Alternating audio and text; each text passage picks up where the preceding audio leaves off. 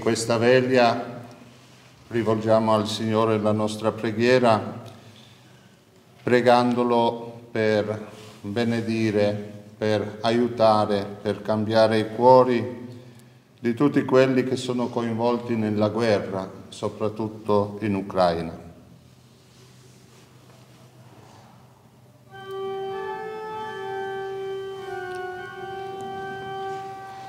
Domine labia mea peries. Etos meo annunciavit laudem tuam.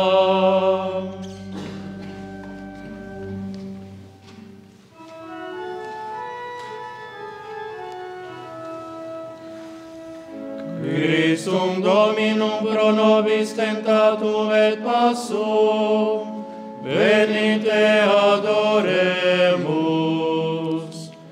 Visum Dominum pro nobis tentatum et castum, venite adoremus.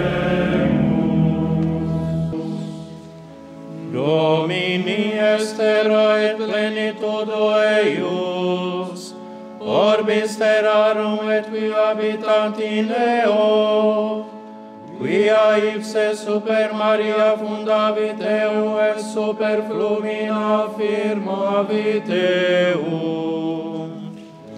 Christum Domino.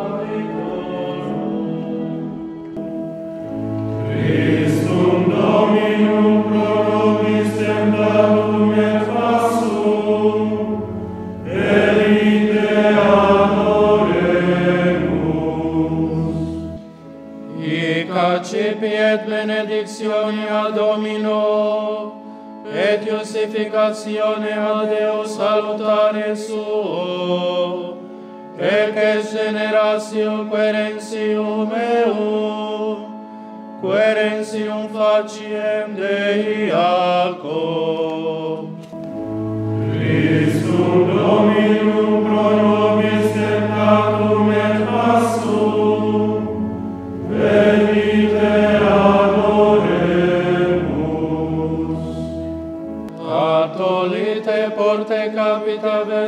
et elevamini porte eternales, et introibit rex glorie, quis esis eris glorie, Dominus fortis et potens, Dominus potens in prelio.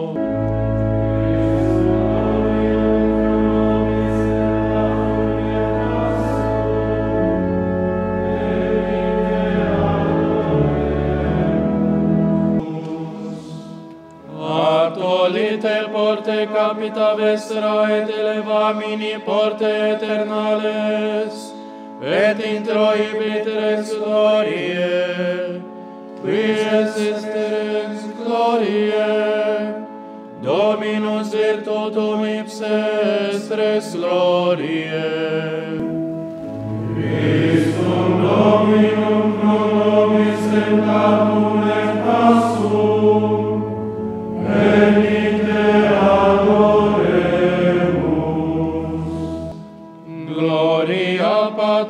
et Filio et Spiritui Sancto sicut erat in principio et nunc et semper et in saecula saeculorum. Amen.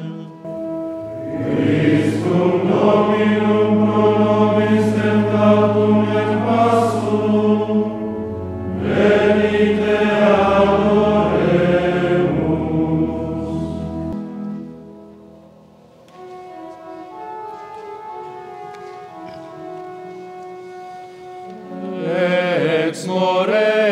optimistico servemus abstinentia.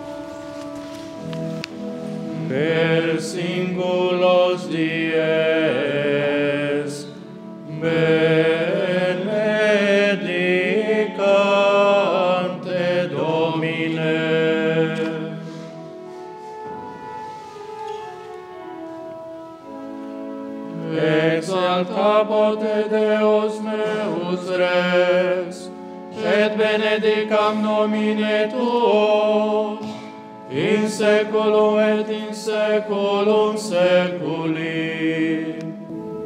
Et singulos dies benedicam tibi, et laudabulonem tuum, in seculum et in seculum seculi. Agnus Dominus et laudabilis nimis, et manitudis eius nues investigatio. Generatio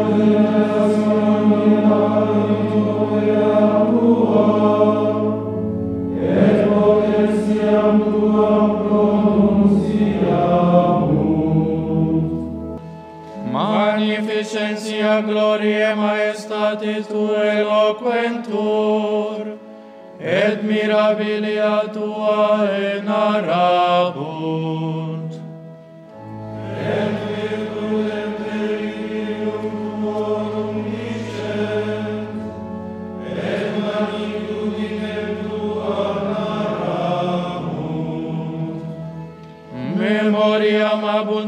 Domine suavitate sue eructabunt, et justitia tua exultabunt.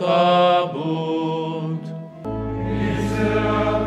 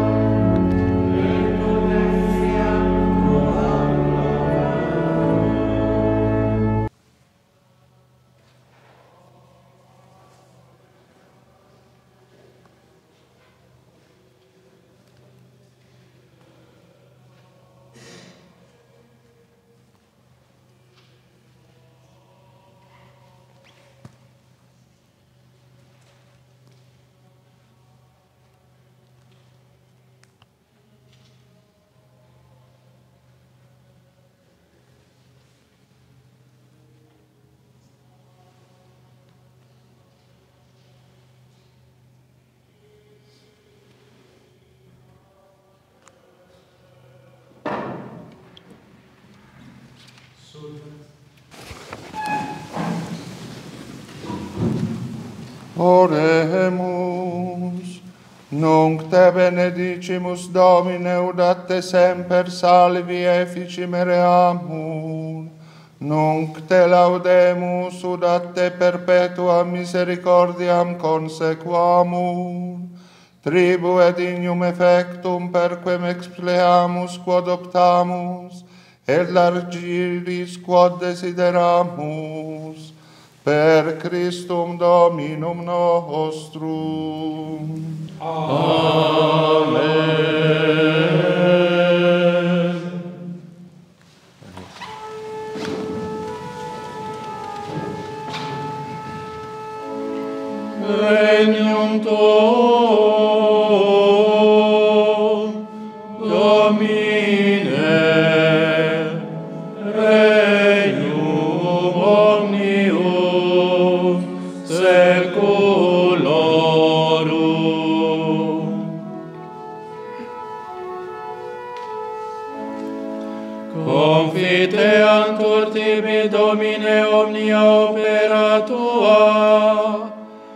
et sancti tui benedicantibi.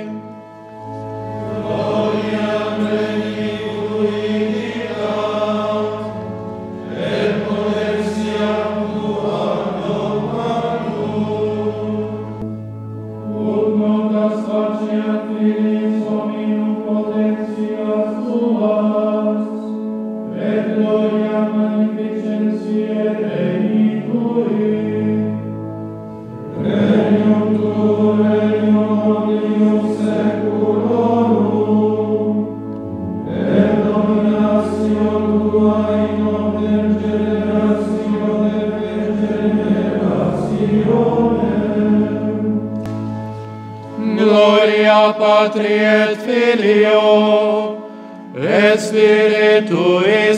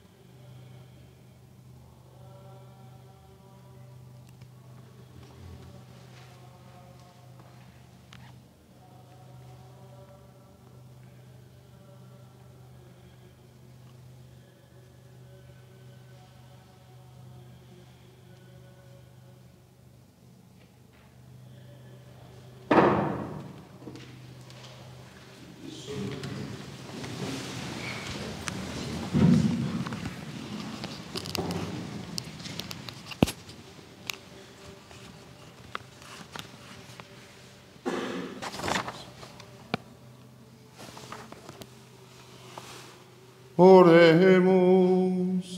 Misericors Domine, tu principium et timoris et sapientiae, in illo ergo nos instrue ed in ista statue, a timore nos inco et sapientiae perfectione consumma, per Christum Dominum nostrum. Amen.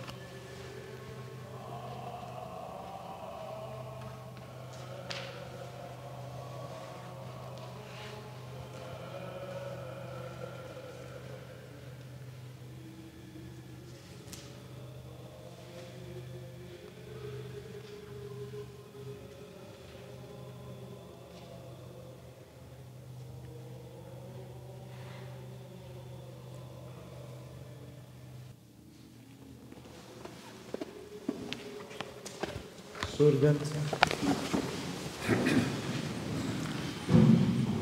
Oremus. Deus, qui sanctus es in loco sancto tua nostra santifica penetralia, ut te delecte essa infra nostrorum cordium intima, ac merito habitantis sig habitationis caritas infinita, per Christum Dominum nostrum. Amen.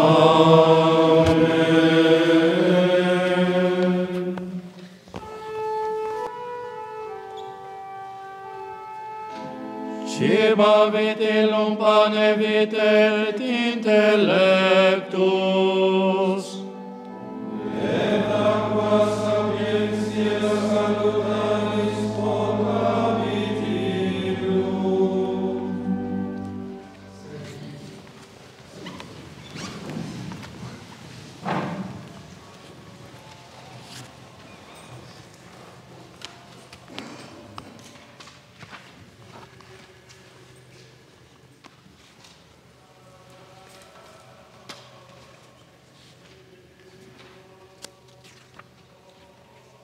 Dal libro dell'Eso- dell'Esodi.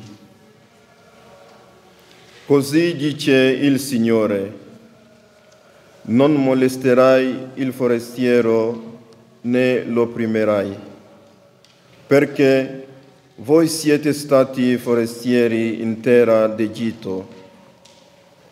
Non maltratterai la vedova e l'orfano. Se tu lo maltratti, quando invocherai da me l'aiuto, io darò ascolto al suo grido. La mia ira si accenderà e vi farà morire di spada. Le vostre mogli saranno vedove e i vostri figli orfani. Se tu presti denaro a qualcuno del mio popolo, all'indigente che sta con te, non ti comporterai con lui da usario. Voi non dovete imporgli alcun interesse.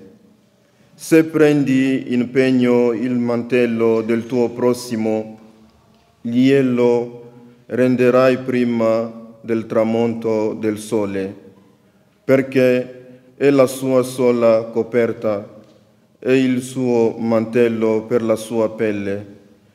Come potrebbe coprirsi dormendo? Altrimenti, quando griderà verso di me, io l'ascolterò, perché io sono pietoso. Non bestemmierai Dio e non maledirai il capo del tuo popolo. Non ritarda- ritarderai l'offerta di ciò che riempi il tuo granaio e di ciò che stilla dal tuo fratoio. Il primogenito dei tuoi figli lo darai a me. Così farai per il tuo bue e per il tuo bestiame minuto sette giorni resterai con sua madre, l'ottavo giorno lo darai a me. Voi sarete per me uomini santi, non mangerete la carne di una bestia stranata nella campagna, ma la getterete ai cani. Non spargerai false dicerie, non presenterai mano al colpevole per, per far da testimone in favore di un'ingiustizia. Non seguirai la maggioranza per agire male e non porterai in processo così da stare con la maggioranza per ledere il diritto. Non favorirai nemmeno il debole nel suo processo. Quando incontrerai il bue del tuo nemico o il suo asino dispersi, glieli dovrai ricondurre. Quando vedrai l'asino del tuo nemico accacciarsi sotto il carico, non abbandonarlo a se stesso. Mettiti con lui a scioglierlo dal carico. Non ledere il diritto del tuo povero nel suo processo. Ti terrai lontano da parola menzognera. Non far morire l'innocente e il giusto, perché io non assolvo il colpevole. Non accetterai doni, perché il dono acceca che ha gli occhi aperti e perverte anche le parole dei giusti. Non opprimerai il forestiero, anche voi conoscete la vita del forestiero, perché siete stati forestieri in terra d'Egitto.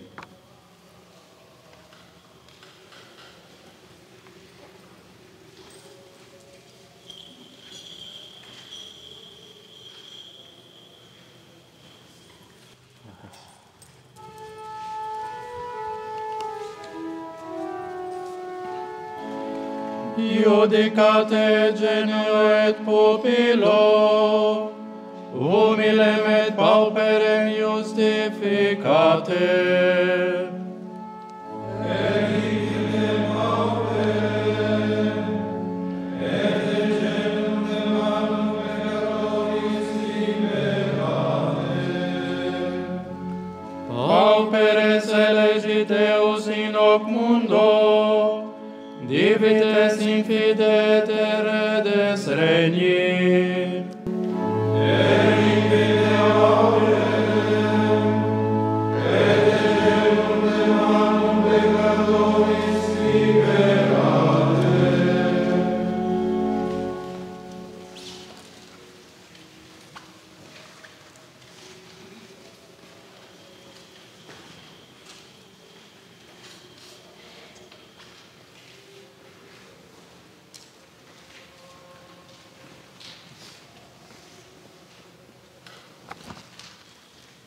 Trattati su Giovanni di Sant'Agostino Vescovo. E arrivò una donna, figura della Chiesa, non ancora giustificata, ma ormai sul punto di esserlo. E questo è il tema della conversione. Viene senza sapere, trova Gesù che inizia il discorso con lei. Vediamo su che cosa, vediamo perché venne una donna di Samaria ad atti- ad attingere acqua. I samaritani non appartenevano al popolo giudeo, erano infatti degli stranieri. È significativo il fatto che questa donna, la quale era figura della Chiesa, provenisse da un popolo straniero. La Chiesa infatti sarebbe venuta dai pagani che per i giudei erano stranieri. Riconosciamo in lei e in lei ringraziamo Dio per noi. Ella era una figura, non la verità, perché anch'essa prima rappresentò la figura per diventare in seguito verità. Infatti, credete in Lui che voleva fare di lei la nostra figura. Venne dunque ad attingere acqua, era semplicemente venuta ad attingere acqua come sogliono fare uomini e donne. Gesù le disse, dammi da bere. I suoi discepoli infatti erano andati in città a far provvista di cibi. Ma la Samaritana gli disse, come mai tu, che sei giudeo, chiedi da bere a me, che sono una donna samaritana? I giudei infatti non mantengono buone, buone relazioni con i samaritani. Vedete come erano stranieri tra di loro. I giudei non usavano neppure i recipienti dei samaritani. E siccome la donna portava con sé la brocca con cui attingere l'acqua, si meravigliò che un giudeo le domandasse da bere. cosa che i giudei non solevano mai fare. Colui però che domandava da bere aveva sete della fede della Samaritana. Ascolta ora appunto chi è colui che domanda da bere. Gesù le rispose, se tu conoscessi il dono di Dio e chi è colui che ti dice dammi da bere, tu stessa gliene avresti chiesto ed egli ti avrebbe dato acqua viva. Domanda da bere e promette di, di dissetare. È bisognoso come uno che aspetta di ricevere e abbonda come chi è in grado di saziare. Se tu conoscessi, dice, il dono di Dio, il dono di Dio è lo Spirito Santo. Ma Gesù parla alla donna in maniera ancora velata e a poco a poco si apre una via al cuore di lei. Forse già la istruisce. Che c'è infatti di più dolce e di più affettuoso di questa esortazione? Se tu conoscessi il dono di Dio e chi è colui che ti dice dammi da bere, forse tu stessa forse tu stessa gliene avresti chiesto ed egli ti avrebbe dato acqua viva? Quale acqua dunque sta per dare se non quella di cui è scritto e in te la sorgente della vita? Infatti, come potranno aver sete coloro che si saziano dell'abbondanza della tua casa? Prometteva una certa abbondanza e sazietà di Spirito Santo, ma quella non comprendeva ancora e non comprendendo che cosa rispondeva, la donna gli dice, Signore, dammi di questa acqua perché non abbia più sete e non continui a venire qui ad attingere acqua. Il bisogno la consiglieva la fatica, ma la sua debolezza non vi si andava, andatava volentieri. O se avesse sentito, venite a me, voi tutti che siete affaticati e oppressi, e io vi ristorerò. Infatti Gesù diceva questo perché non dovesse più faticare, ma la donna non capiva ancora.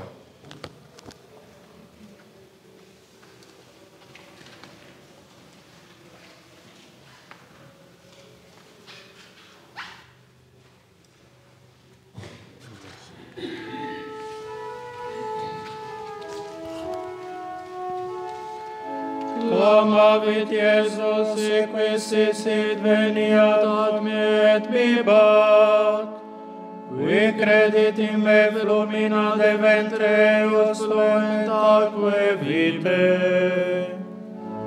O Ave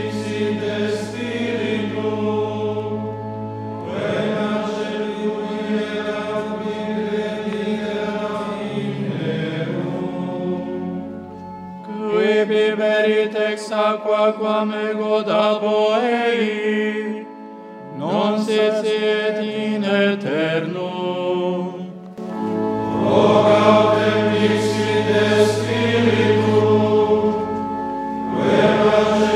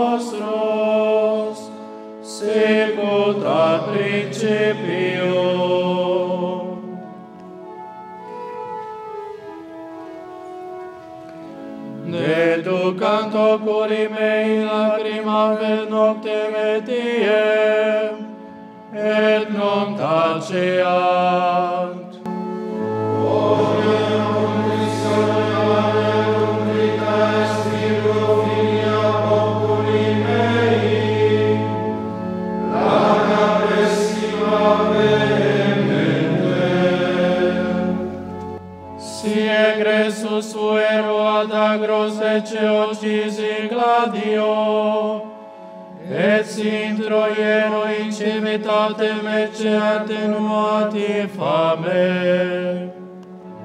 Profeta quoque sacerdos, ab.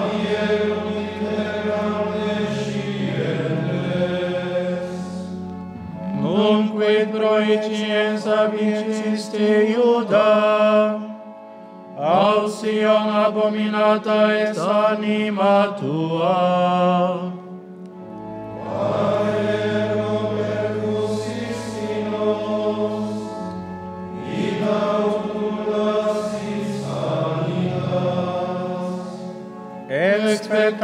primus facem et non es sonum, et tempus curationis et ecce turbatio.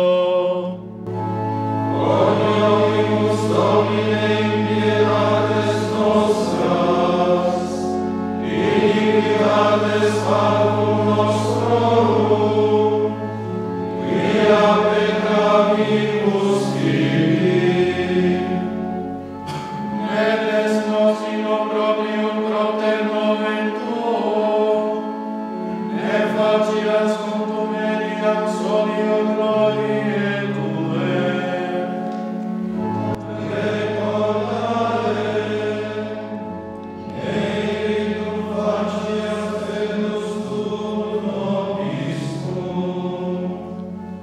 Gloria Patri et Filio et Spiritui Sancto.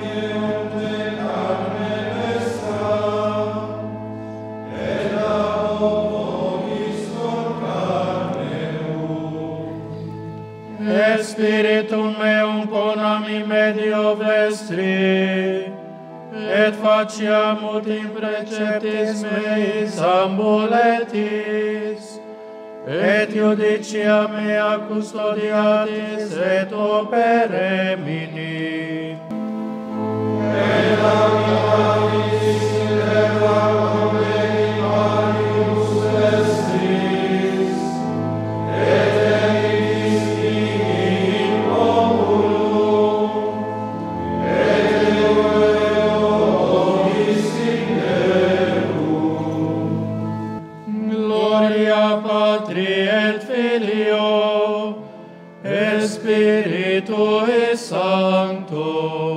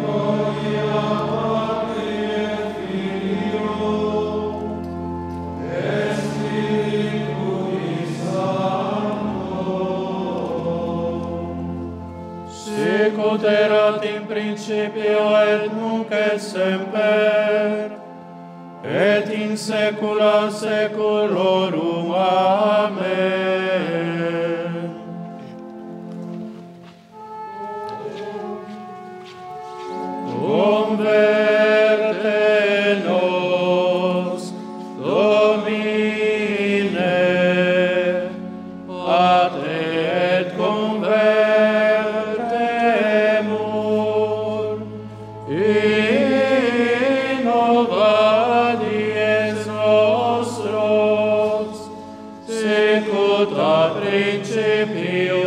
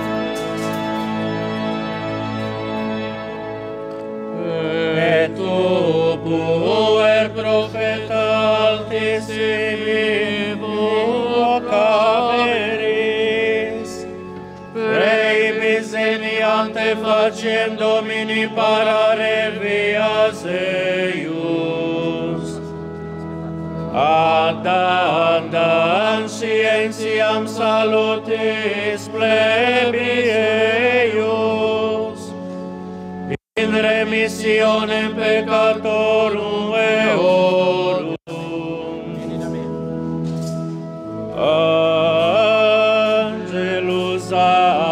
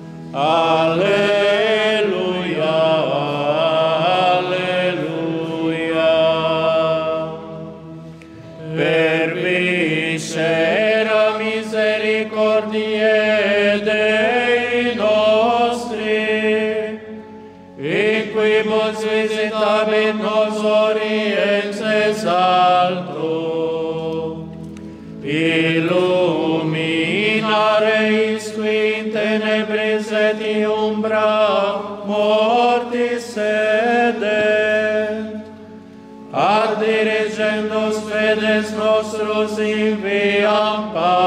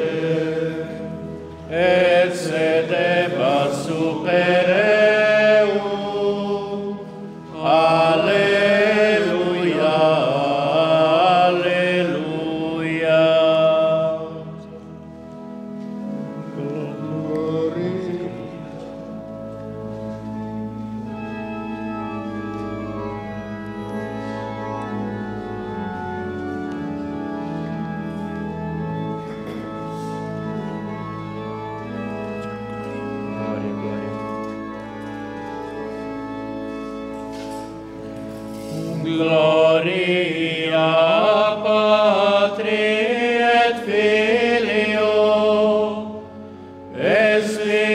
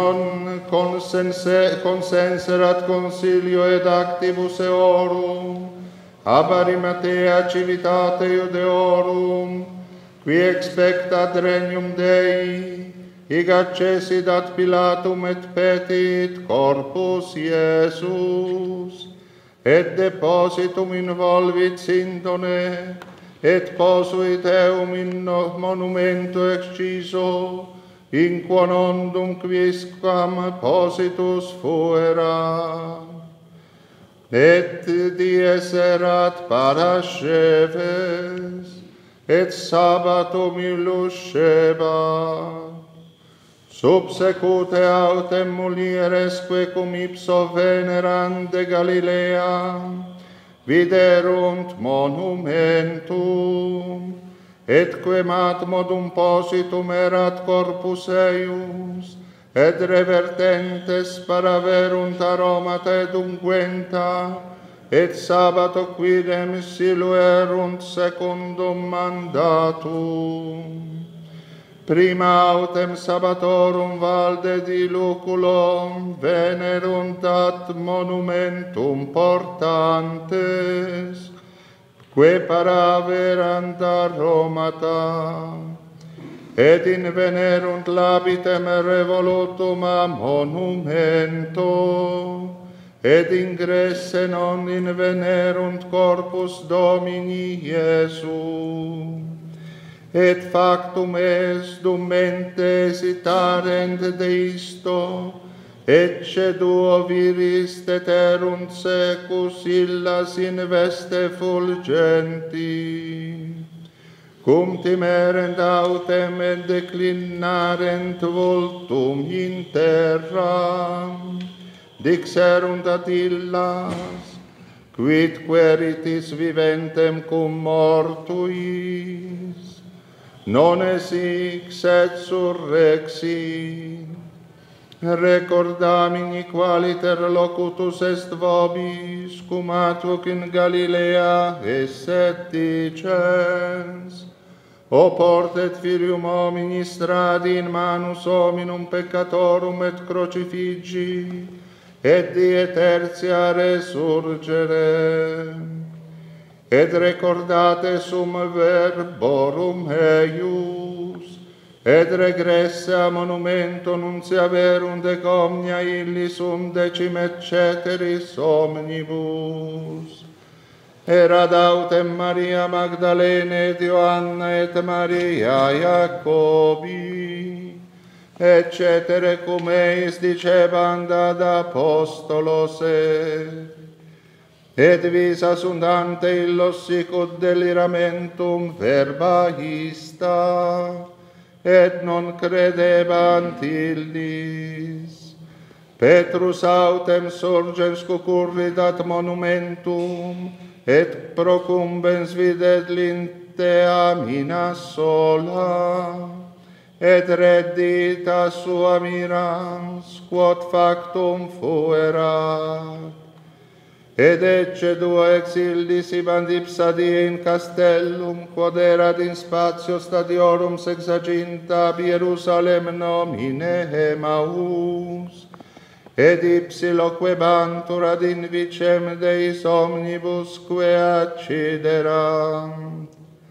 Et factum est dum fabula rentur, et secum quererent, et ipse Iesus apropinquam si vant cum hildis.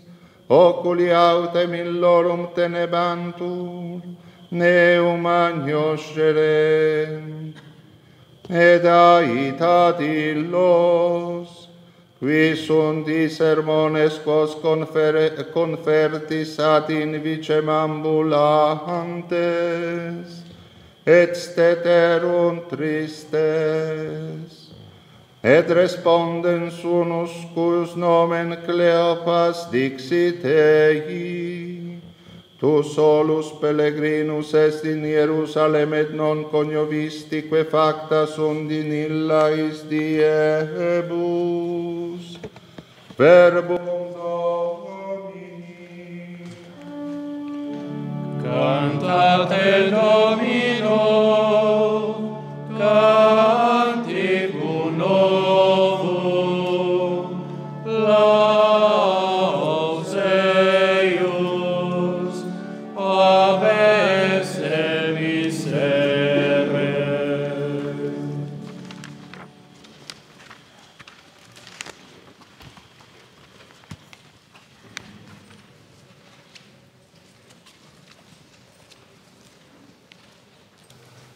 Christum Salvatorem, qui per mortem et resurrectionem suam nos redime et acclamemus. Amen.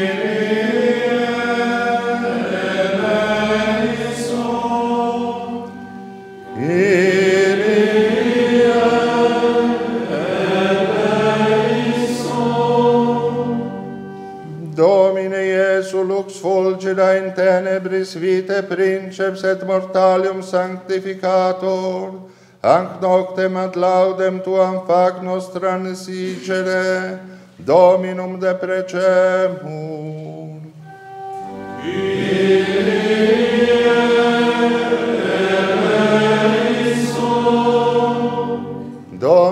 preambulasti in via passionis et crucis, concede nobis ut tecum pacientes et morientes, tecum etiam resuscitemur, Dominum deprecemur.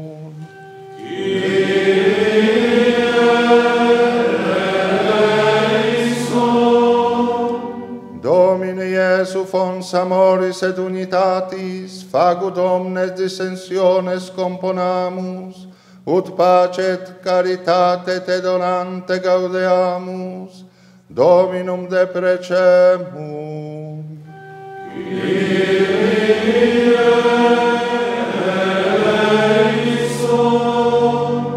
Domine Iesu lux censum et gloria plebis Tue, facut Israel inte Christum spei sue agnoscam, et omnis terra Tue glorie cognitionere pleatur, Dominum deprecemur.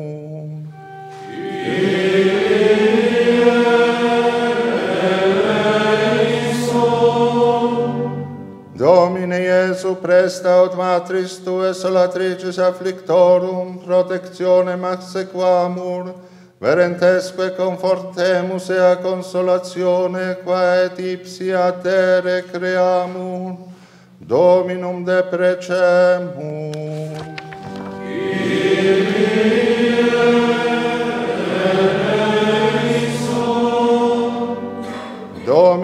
Iesu auctor vitae mementorum quid ag vita transierunt, eisque resurrectionis gloriam largire, Dominum deprecemur. Amen.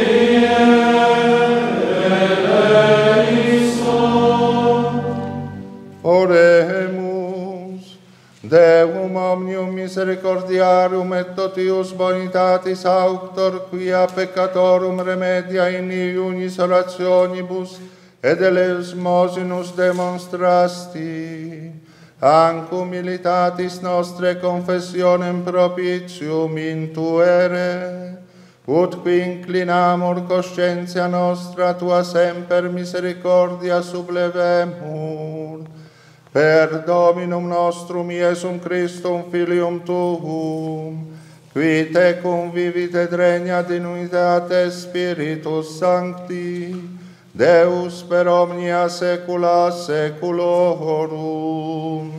Amen. Dominus vobiscum. Et tuo. benedicat vos omnipotens Deus, Pater et Filius et Spiritus Sanctus. Amen.